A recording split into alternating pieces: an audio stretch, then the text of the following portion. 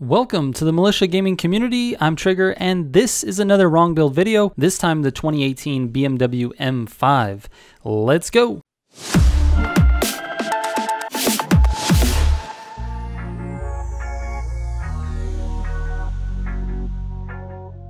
Alright, real quick before we get into the video, I just want to say thanks for watching. I know we don't do that enough as YouTubers, so thank you so much for being here. And secondly, if you're into car builds in real life, I have a second channel in which we're going to be building all kinds of different cars, starting with a 2004 Acura RSX Type S. So if you're into that kind of thing, there's a link in the description down below, and you can go check that out.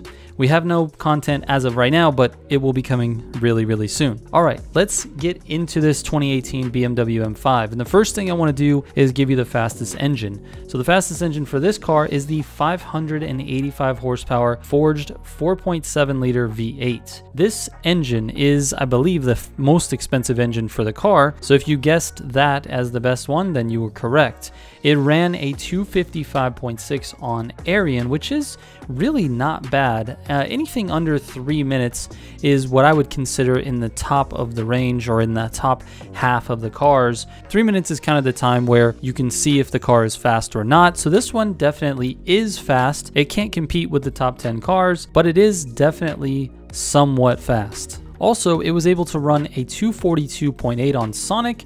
Again, not the fastest time, but definitely not a slow time either. And of course, it can get faster with someone else behind the wheel. But for me, it's a 242.8 on Sonic.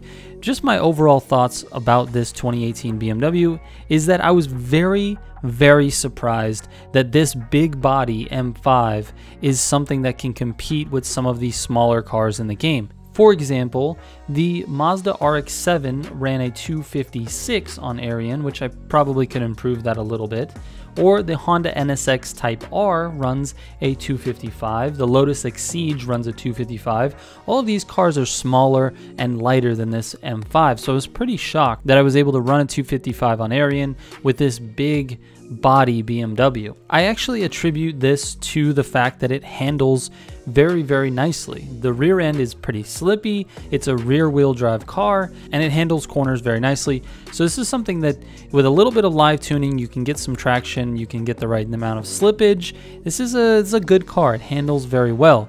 Now what it doesn't have is an acceleration off the line and acceleration through the bottom end of the gears. Uh, basically gears 1 through 4 don't accelerate really well. Gears 5, 6, and 7 accelerate pretty decently. So anyways, the car is decent for the track and that actually surprised me. So let me go ahead and give you the full track build. We're going to start with that 585 forged engine. We got the Ultimate Plus engine parts and dual turbo and then the 5 by 3 pound NOS as always. Super track suspension, elite brakes, elite race tires, elite plus clutch, elite 7 speed gearbox, super track differential, NOS refills, NOS duration, and then we've got steering sensitivity minus 1, downforce plus 3, traction control off, drift style on gas. All right, let's move on to drag racing. The drag build is really, really simple on this one. It's just a couple of things that we need to switch, and that is the 1 by 15 pound NOS and the Elite drag tires. The rest of it is the same build as the track build. Now for drag racing,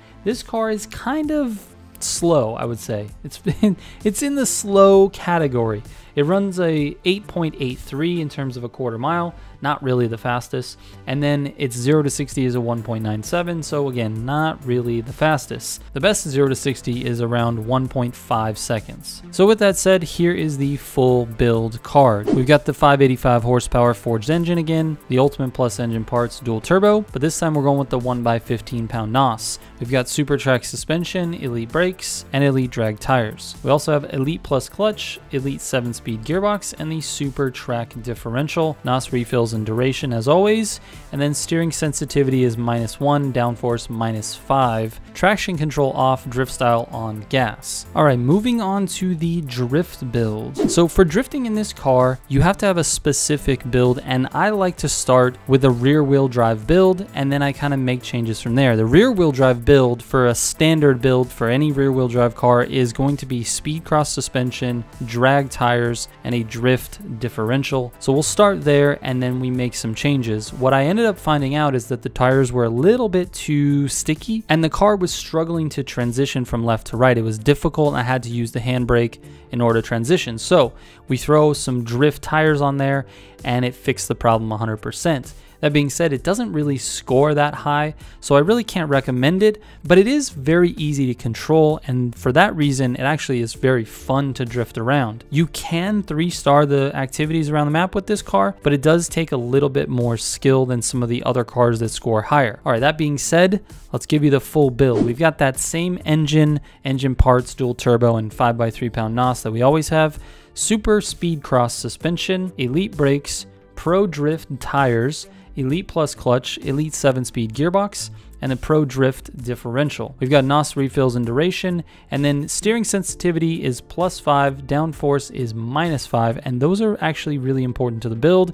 This helps you with steering response, and it helps the back end slide a little more. Traction control off and drift style on gas. And lastly, let's take a look at the off-road abilities. As always, I test this on two off-road courses, HTV2 and Rumble, and on HTV2, the BMW M5 ran a 151.1, which is actually not bad. It's not not super fast, but it's pretty good. It goes along with like say the Subaru BRZ or the DB5 or the Fairlady. Those all run times that are pretty similar. It ran a 314.7 on Rumble, which is not great. It's actually a little bit lower on the list.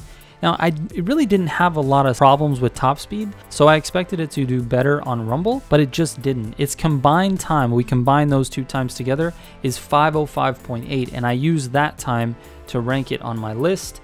And in that case, this thing falls somewhere in the neighborhood of 25 or 20. It's somewhere in like the top 25 in terms of its comparison to the other cars that I've tested. So with that said, let's go ahead and give you the off-road build. It's that same engine, engine parts, dual turbo, and the 5x3 pound NOS. As always, we've got the Super Rally suspension, Elite brakes, Elite off-road tires, Elite Plus clutch, Elite 7-speed gearbox, Super Rally differential, and then we've got NOS refills and duration, and of course steering sensitivity plus 5, downforce minus 5, traction control off, and drift style on gas. And with that, I will end the video. I really appreciate you guys watching this and your support on this series. It's been absolutely amazing, and I'm gonna keep making these videos till we finish all the cars in the game, and hopefully we can finish that before the next Need for Speed comes out. And once again, if you guys are into real car builds, you wanna follow me, I am building a 2004 Acura RSX Type S, and I'm going to be doing it on my second channel. Again, link is in the description down below. I will catch you on the next one. Thank you so much for watching. Trigger out.